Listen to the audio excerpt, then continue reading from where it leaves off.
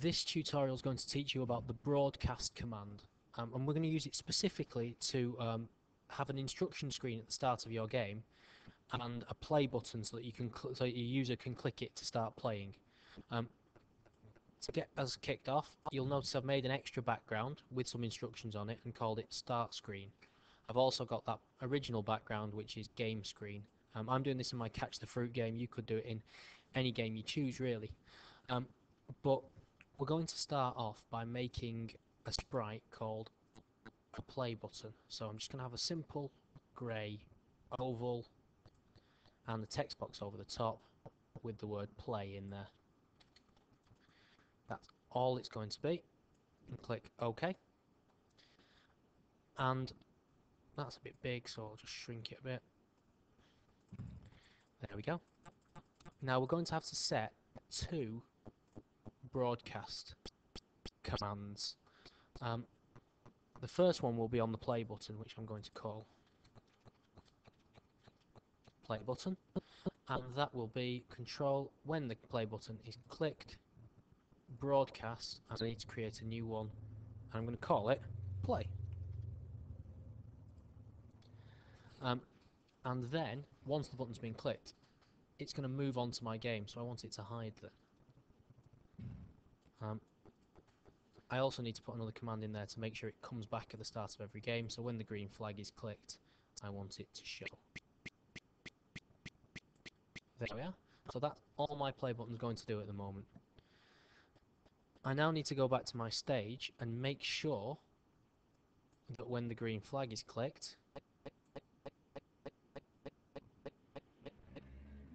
where am I? Um, when the green flag is clicked, I need it to switch to background start screen, which is my which are my instructions. There we go. Now, for the rest of my variables, basically, um, switch to background, start screen, and we called it play, didn't we, that broadcast?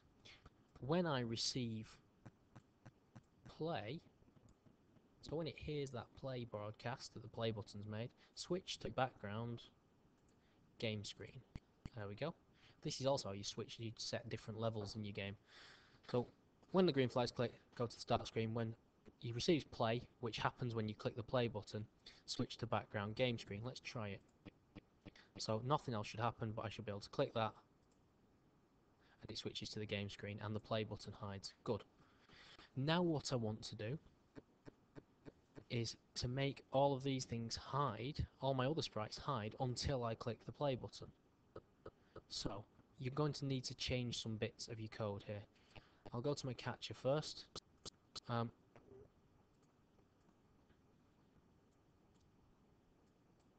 when the green flag is clicked,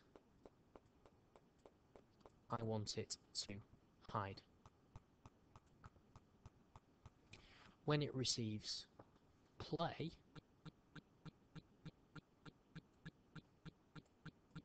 I want him to go to there and show.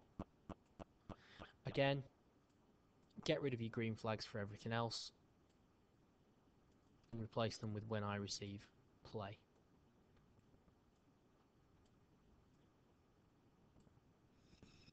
There we are.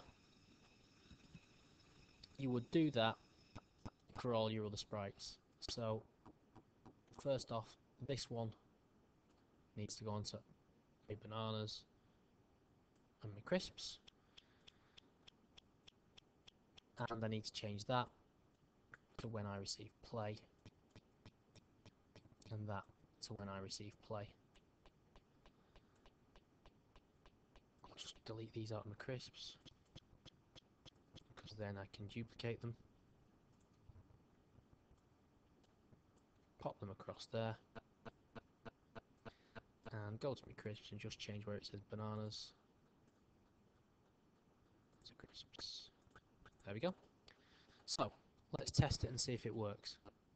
The ah, one thing I haven't done is these things will still be displayed at the top, my variables.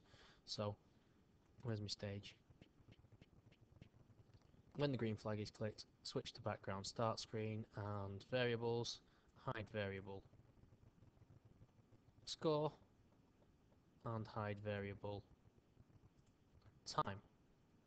When you receive play, show the variable score and show the variable time. So they will pop up as well.